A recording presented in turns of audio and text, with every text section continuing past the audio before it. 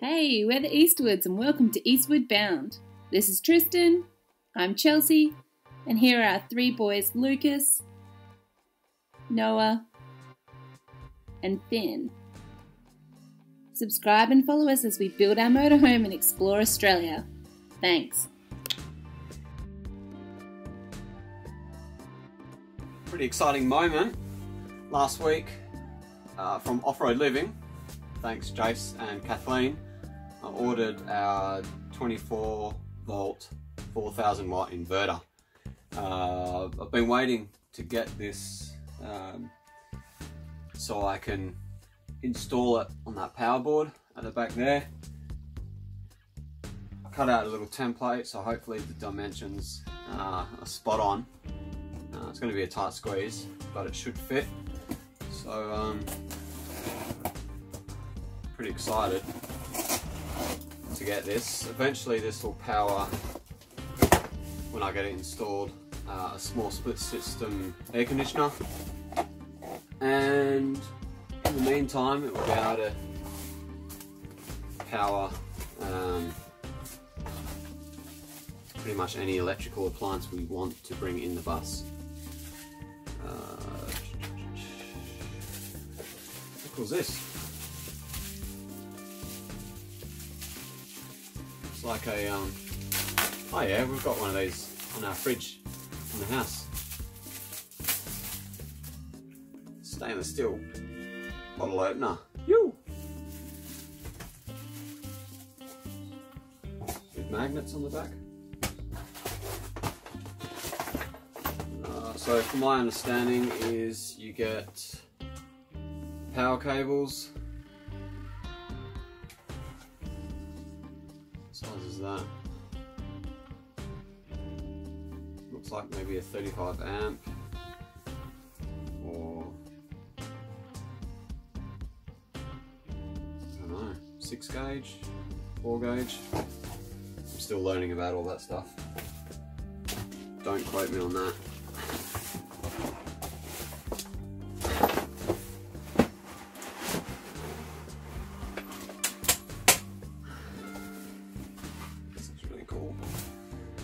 Beast. Uh, on off switch.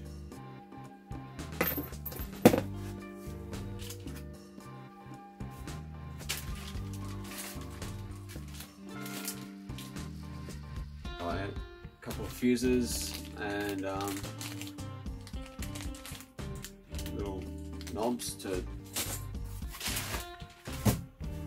attach the lugs for the power cables. I think it weighs four kilos.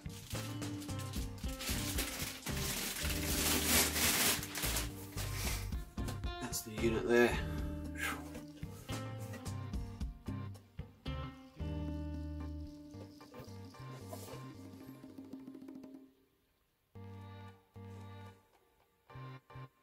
It's upside down. There you go.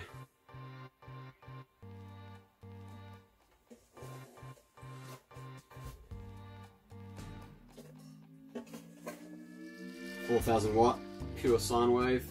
I do have a two thousand watt modified sine wave, um, which I hear is not the best to be running any sort of device appliance that has like a complex circuitry system. I don't know. It's not a toaster or a kettle. Don't use a modified sine wave inverter, apparently. Uh! Let's see if it fits. I'm back.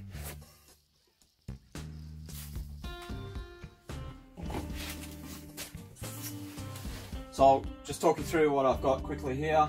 Uh, oh, hang on.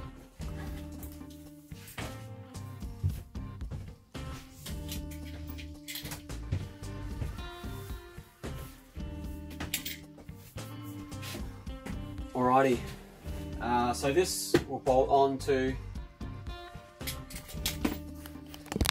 that. Um, that's fixed to the bus. It can be removed quite easily. All the cables come up through the wall from the battery system all the other cables, the twin core stuff, all comes through to the main frame of that and this bolts onto that. Stainless steel bolts, yada yada. Nice and clean, no rust, hopefully. Um, so what I've, what I've done is we got, we have four batteries, uh, 160 amps each. Uh, they're 12 volt batteries. So I've connected them up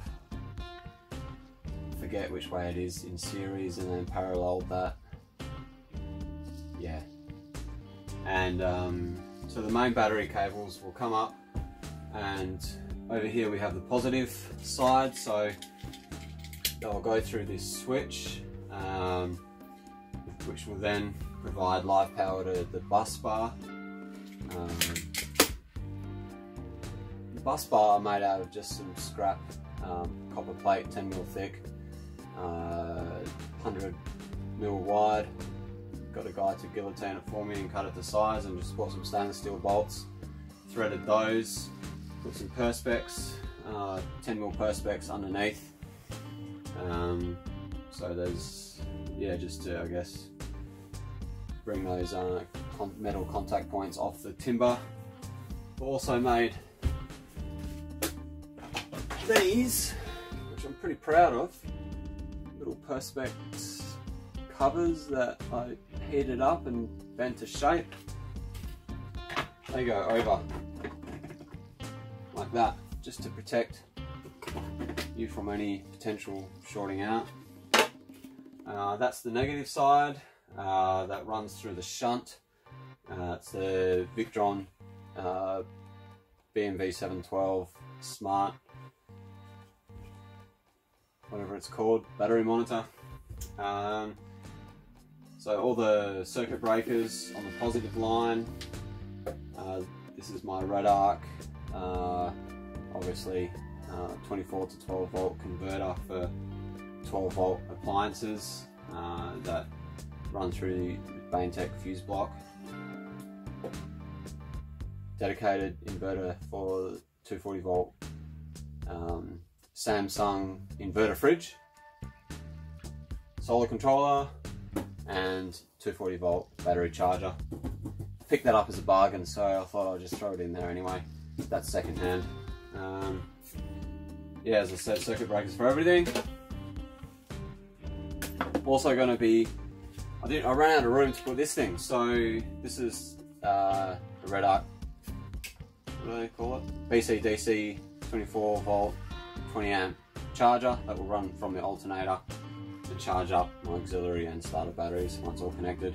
And at a later stage, I'm just going to um, uh, buy one of Off-Road Living's uh, solar charge controllers to put somewhere underneath where the batteries are to connect to a portable solar panel uh, in case there's minimal light hitting the panels up on the roof, which are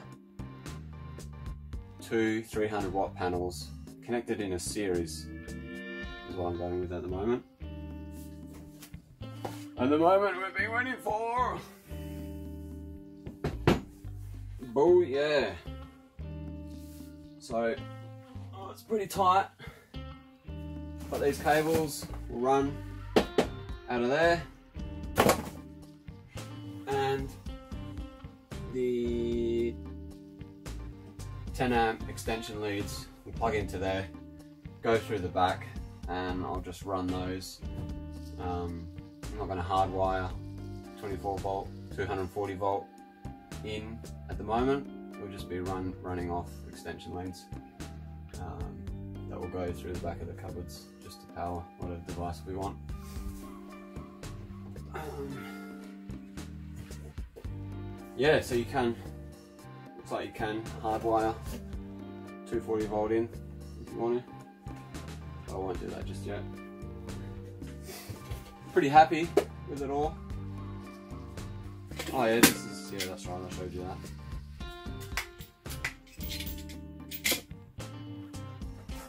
And that will be also connected up to the fuse block uh, the lighting switches, uh, diesel heater, hot water system, uh, fuel pump, external lights, uh, jacuzzi on the roof. Uh, anything else? No, I think that's it. Whew, happy days.